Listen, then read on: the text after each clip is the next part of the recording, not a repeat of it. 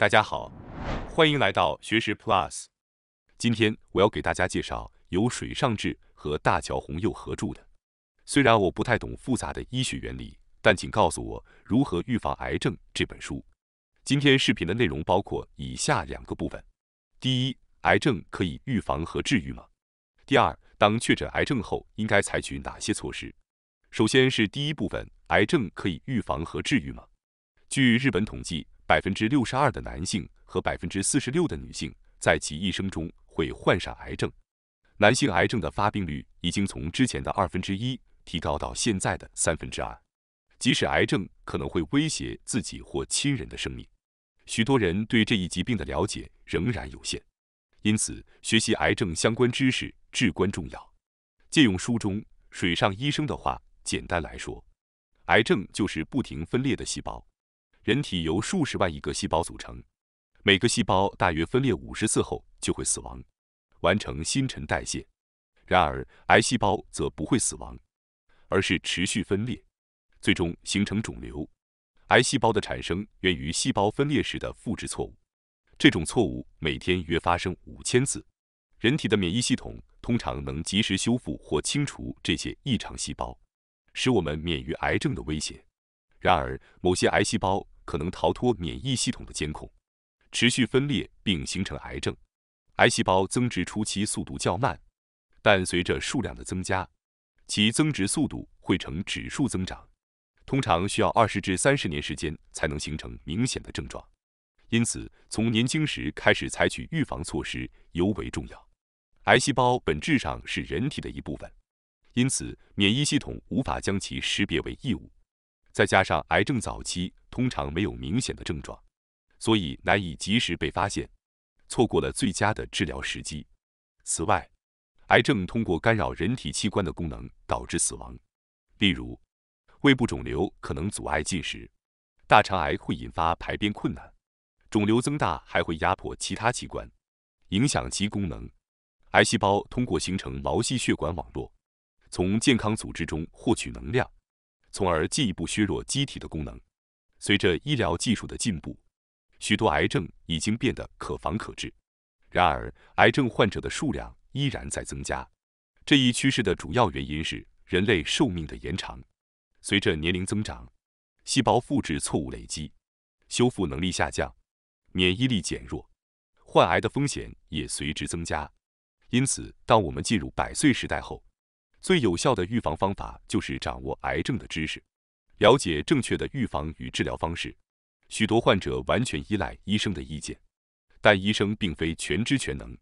医学的专业化趋势使得医生的知识领域越来越狭窄，因此患者需要主动学习、收集信息，独立判断最适合自己的治疗方案。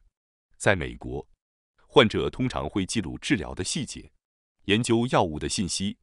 并与医生合作确定治疗方案，这种自我负责的态度有助于更有效地应对癌症。而在其他国家，大部分患者仍倾向于被动接受医生的建议，缺乏自主学习和表达意见的动力。癌症并非主要由遗传因素引起。根据研究，吸烟占癌症病因的百分之三十，饮食和肥胖占百分之三十，缺乏运动占百分之五。这意味着。改变生活习惯即可预防约三分之二的癌症。此外，定期体检、早期发现和及时治疗也是关键。对于吸烟者来说，戒烟是降低癌症风险的首要措施。每天吸一包烟，持续二十至三十年，可使寿命缩短十年。即使已经长期吸烟，从现在开始戒烟仍为时不晚。研究显示，戒烟后肺部损伤可以逐渐恢复。在饮食方面，水上医生建议尽量减少食品添加物的摄入，但不必过度敏感，关注营养平衡更为重要。同时，有些食物被认为具有抗癌作用，例如大蒜因富含植物化学物质而被证明具有预防癌症的效果。每天食用一半大蒜，或将大蒜加入味噌汤与发酵食品搭配食用，既健康又美味。癌症并不可怕。只要我们掌握正确的知识和方法，就能预防并有效应对。希望大家能通过学习增强对癌症的了解，为自己的健康保驾护航。接下来是第二部分，当确诊癌症后应该采取哪些措施？一些畅销书声称，即使患上癌症也不需要接受治疗，但水上医生否定了这种说法。他指出，早期发现并接受治疗的患者可以活得健康，这是一个不容忽视的事实。有些医生主张癌症不需要治疗，这可能意味着存在着某些进展速度缓慢、不需要立即治疗的癌症。由于当前的医疗技术无法准确区分这些癌症，因此这些医生认为。与其接受手术带来的负担，不如选择观察和等待。顺便提一下，癌症的分期是用于表示癌症进展程度的分类方法。癌症的分期从零到五共五个阶段，数字越大，表示癌症进展越严重。一般来说，零期到二期的早期癌症治愈的可能性比较高，因此如果在这个阶段发现癌症，应尽可能的接受治疗。而三期到四期被称为进展期癌症，随着分期数字的增大，治愈的难度也随之增加，尤其是对于高龄患者，体力可能不足以支持他们做手术，或者无法承受化疗的副作用。因此，有时为了避免因治疗增加的身体负担，缩短生命，医生可能会选择不进行治疗，而是寻找与癌症共存的方法。前列腺癌在某些情况下也是可以选择不治疗的，治疗与否应根据具体的情况决定，包括癌症的位置、患者的年龄和癌症的进展程度。此外，个人对生命和死亡的观念也会影响治疗的选择，不同的人会选择不同的治疗方法，所以不能一概而论的说必须治疗或完全不治疗。大家应该避免被极端的信息所误导。即使癌症已全身转移，患者体力下降，生命岌岌可危，也仍然有治疗的方法，且有许多人在这种情况下仍能存活多年。癌症的三大治疗方法是手术、放射治疗和化疗。手术是指通过手术切除肿瘤，放射治疗是用放射线来烧毁癌细胞，化疗是通过药物杀死癌细胞。作者强调。在进行癌症治疗、选择治疗方案时，必须要做的一件重要的事情就是获取第二意见。第二意见是指在治疗时听取主治医生以外的医生的建议。尽管有些人可能觉得这样做似乎是不信任主治医生，但第二意见制度已经在日本逐渐普及，因此无需担心对主治医生会产生任何冒犯。主治医生也没有拒绝的权利。所以，一旦被诊断为癌症，务必要请求第二意见。之所以如此重要，是因为癌症治疗一旦开始，是没有回头路的。例如，若选择通过手术切除食道癌，被切除的食道将无法恢复如初，日后的饮食肯定会受到影响。选择化疗可能会带来副作用，而放射治疗则可能损伤周围其他的器官。每种治疗方法。都有其优点和缺点，一旦开始治疗，就不能回头。因此，对第一次治疗方法的选择至关重要。一些医生可能会倾向于推荐他们擅长的治疗方法，甚至可能不会详细说明其后遗症或副作用。所以在听取主治医生的意见后，一定要再从另一位医生处获取第二意见，从不同的角度了解治疗方案，最终自己决定。在哪家医院接受哪种治疗？需要记住的一点是，在日本，三大治疗方法中的手术被推荐的可能性更高。虽然在欧美国家，初次癌症治疗有百分之六十到百分之七十会选择放射治疗，但在日本这一比例仅为百分之二十到百分之三十。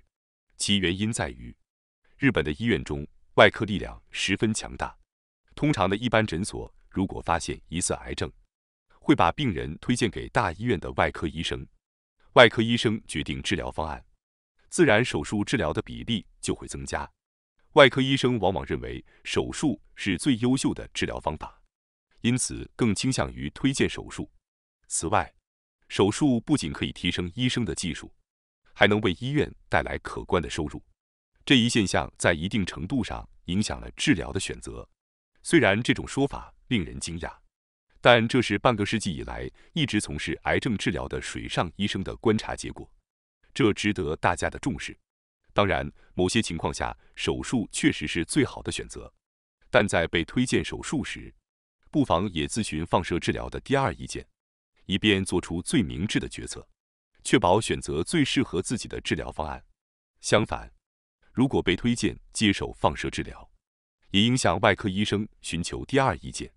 如果第一次诊断和第二意见差异很大，难以决断时，建议获取第三意见。还有一种情况，如果你与主治医生不和，那该怎么办呢？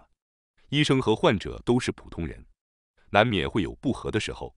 如果您觉得这位医生不可靠，想换医生，尽管您可能会觉得尴尬或内疚，但不要犹豫，直接要求更换医生。事后提起诉讼或因个人偏见改变治疗方案，对医生和自己都不好。但是如果医生的言行确实不合理，那就是医生的错。如果您无法忍受当前的医生，或经过深思熟虑后决定转院，请不要犹豫，立即提出请求。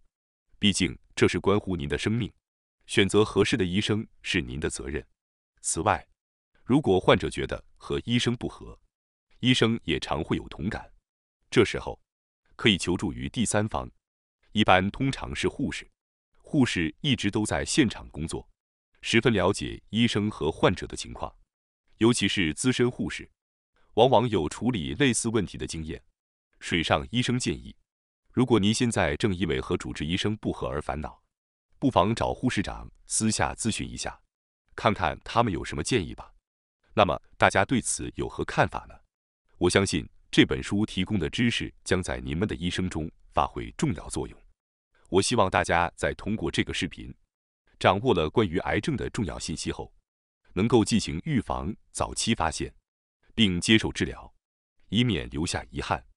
感谢大家收看今天的节目。如果你喜欢我们分享的内容，记得点赞、订阅并开启小铃铛通知，第一时间获取我们的更新。在下次的节目中。